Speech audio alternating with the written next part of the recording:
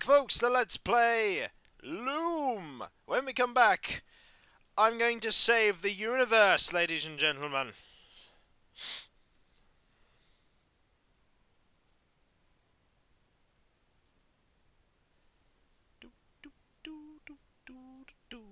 And we're gonna do this by going into holes and using one power that we've managed to get the ability to use, which is healing, very much constantly. But first, we need to go and uh, do things that we haven't done before. Like, go to the hole here. Oh yeah, you're you're kind of dead, aren't you? Oh. Rusty, Hello. is that you? Y- You don't look at all well. I'm not well. Actually, I'm dead. Oh. I don't. I don't know what to say. You don't have to say a thing. What do I matter?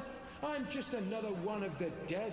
Oh, Rusty, I feel terrible. I and didn't that's know. not even the end of it. Oh. I'd go outside to wait for doomsday, like a good little ghost see. But no sooner do I get settled again, but some stupid idiot shreds the universe apart and hauls us all back inside. There are a lot of very unhappy dead wandering around here, let me tell you.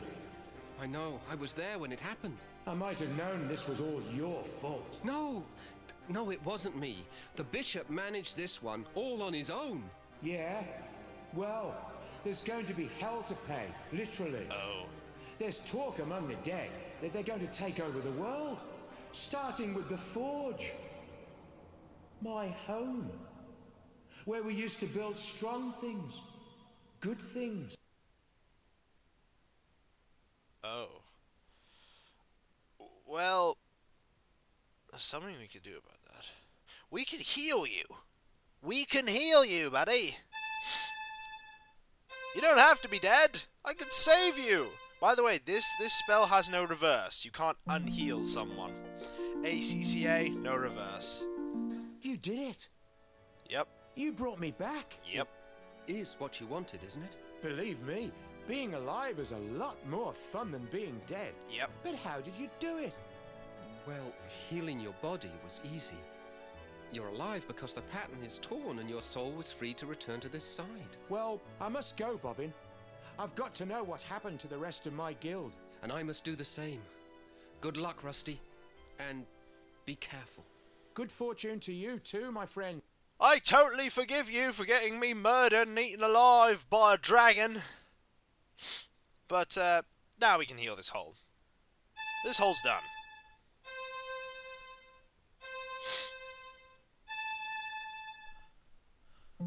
And that's one hole down. I wonder what happened to all the shepherds. I bet they all died horribly as well, but at least that one wasn't my fault. Let's go. Oh. You are too late, wizard. The dead have increased their numbers here. Those not dead are suffering, and my songs were again useless. Oh. All that's left for us is to put an end to their misery. Come and extend your help if you can. Oh, she's so sad. Look at her. Well, I can't extend their suffering, but I can heal their hearts and yours.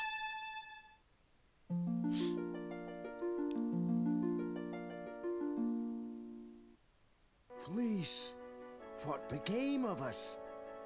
I was just walking among legions of dead. You were saved by the mercy of yonder boy. We have not had the chance to thank you properly, wizard. But our memories are long, and we will not forget you soon. Hail and farewell. Come along now, before the dead ones return to the harvest. Well, that one's saved. That's two holes cleared up.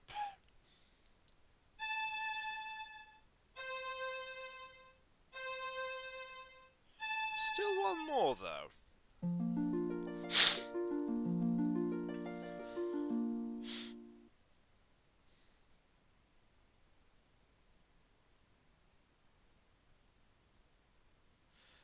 Okay, this one. This one, I figured out how to get this up now.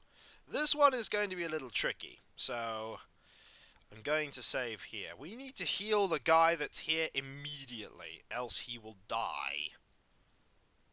Yes, it's time to enter Crystalgard. It's time to click him, and it's time to heal him right now. Don't let him talk. Just heal him. Master Goodmold. Ah, the Weaver boy. At least you've escaped the terror of the Dead Ones. It appears the Crystalgard has not been so fortunate. But I don't understand. Why did you not use the Great Scythe? Good question. We question. never doubted the scythe could save us. No, Yes. never, no indeed. Even chaos must fall under its blade. But But we could not do it. To unleash such merciless evil would show us to be no better than our enemies. The entire world would have feared us when it was done. And to have become so much like our enemy was unthinkable. Just unthinkable. why didn't my healing work? And so you didn't use it. We knew the price. The best we could hope for was to defend it bravely. But we are not warriors. You mean Chaos stole the scythe? Oh dear. We did what we could, but it was not enough. Remember us, my young friend. Tell the word that we fought with courage and chose death with clarity. Above all else, clarity. Oh. You're dead. I honestly thought I could save you, buddy. But clearly it was not to be. I'm sorry. I'm so very sorry.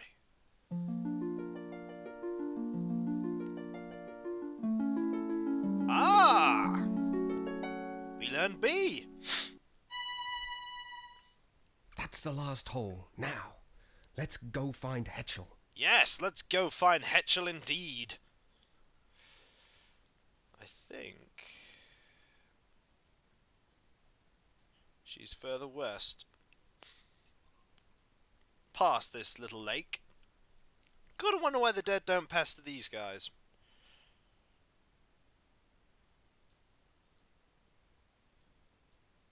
Can I just keep going? Bye! Don't mind me, levitating through the universe.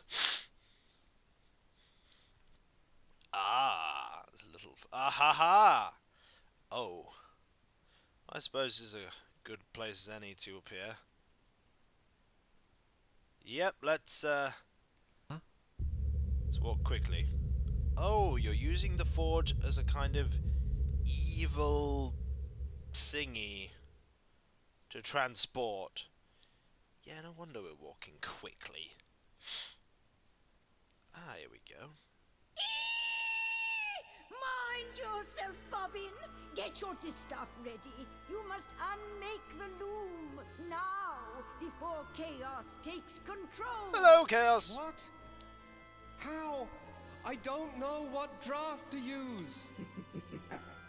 Birds and children have no business wielding such power. Weavers are the only ones who do have the right to use this power. Destiny has blessed you, young Threadbare. For you alone will live on to pass your guild secrets to others more worthy of them. Ha! I invite you to serve my new empire as advisor. Nope! Me? You? Advisor? Of course, I will expect your full cooperation in this historic exchange of goodwill. After all, anything else may bring harm to our relationship. Hmm. Don't listen to her, Bobbin. Heed me now. Here are the threads that will unmake the loom. Silence. Oh! Oh! Hetchel, Say something, please. I need that draft. Enough! I lose patience in the presence of inferior beings. You will now instruct me in the use of this fascinating instrument. Over my dead body. Preference note. Oh goody! Hetchel can't speak. Her beak moves, but there's nothing, not a sound. Well, that's okay, because the loom remembers drafts that are used in it. Let's let's ask it. B A G F is silence. So therefore, if I use that backwards, Her beak moves, but there's nothing, not a sound. F G. Nope, no, blah, blah, blah. Whoops, I've screwed that up. I need to choose my drafts more carefully. Yes. F G A B. Bingo! Now you can talk again! Tell me the draft. Oh, thank goodness. Now, Bobbin, quickly. The threads you need are. Ducks are meant to be eaten, not heard.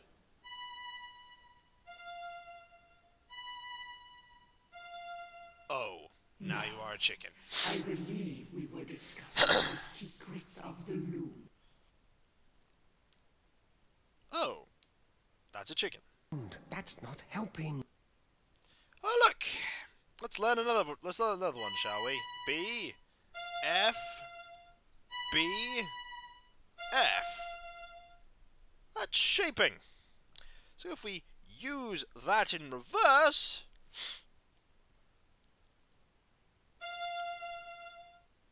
you're not doing this very well, are you, Chaos? That is unshaping. Uh, close your eyes now, Bobbin. But keep your ears open. Here descends the third shadow. That bird has annoyed me once too often. Oh, really? Uh-oh. Uh-oh. You're casting something bad, aren't you? What's gonna happen here? Now, my esteemed advisor, where were we before we were so rudely distracted? Hetchel's black feather. She left one behind. And so she did. I think I shall keep it as a souvenir of our little encounter. What? I want that feather. Give it to me. My, my, impudent art. Yes. I advise you not to approach me too closely, Weaver boy. Well, you left one very bad thing in your mu- in, in the loom. You left the weaving of unmaking. Inad- inadvertently, by destroying Hetchel. You've given me the one weapon I need to do it myself. Screw you, Chaos! Bobbin, Bobbin, you did it. I did? The loom is unmade. Excellent. You ignorant fools! Do you comprehend what you have done? Yes. None of us can pass across this rift your weaver mischief has so blindly created. Yep. Your pious meddling has brought the end of my dream. Yep. You will hear for all eternity the cries of those you have abandoned, Bobbin Threadbare. Meh, meh, meh. You will always know that you have left them under my rule. Oh, yeah. We abandon no one. When our side of the pattern is mended, we will return and put an end to your evil. Yep. Come, loon child. It is time for us to begin our destinies anew. And we have learned the final step. We've learned C. I was close, but not close enough. Leaving so soon, Weaver? I was looking forward to spending more time with you.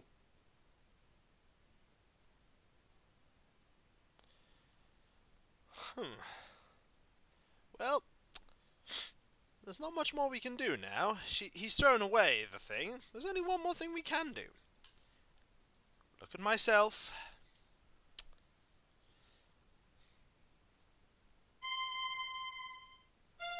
Change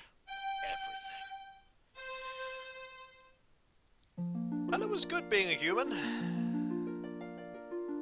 Fly away while you can, young threadbare, and know that we will most assuredly meet again. I am ready, Mother. Let's go.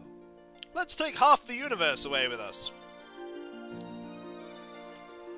I'm really not kidding.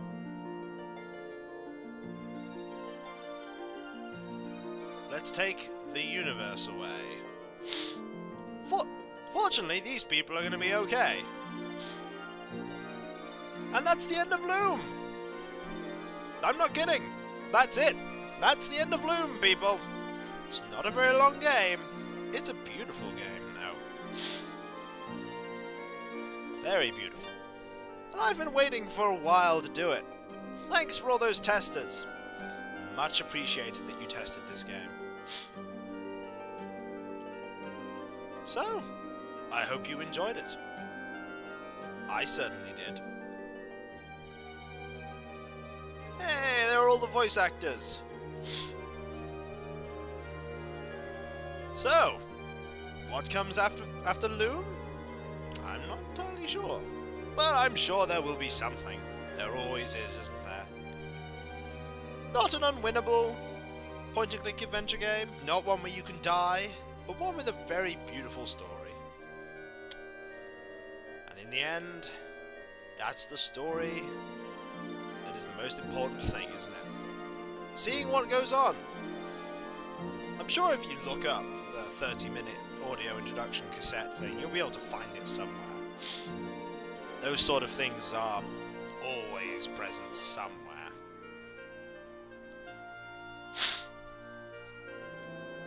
Long are these? Ah, the CD SCUMM system. Yes, because this game was ported to Scum VM, I think. Special thanks to those people. And Commodore! Ah, yes, because there was a Commodore version of this game. There was a Commodore version. To George Lucas! Yes, it was made LucasArts. Lucasfilm Games production. Thank you very much. At Skywalker Ranch. In 1990. Well, the end indeed. Thank you very much, folks. Until then, until then. I'll catch you later. See you then.